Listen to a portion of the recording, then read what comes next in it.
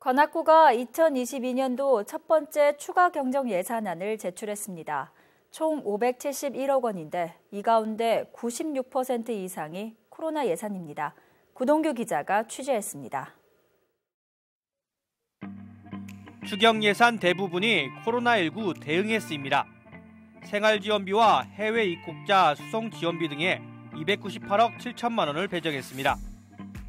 코로나 확진자가 빠르게 느는 만큼 자치단체도 대응에 나선 겁니다.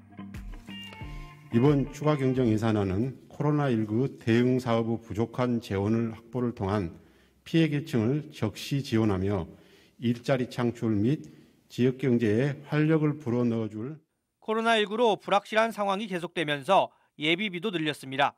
재해와 재난을 목적으로 신속한 위기를 막기 위해 250억 원이 반영됐습니다. 여기에 중대재해처벌법 필요 예산 3천여만 원과 일자리 사업 17억 원, 그리고 골목 경제 회복에 5억 원 등을 편성했습니다.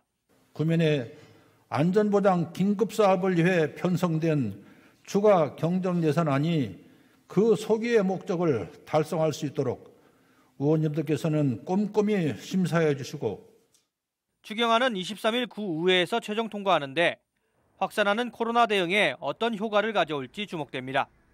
HC 뉴스 구동규입니다.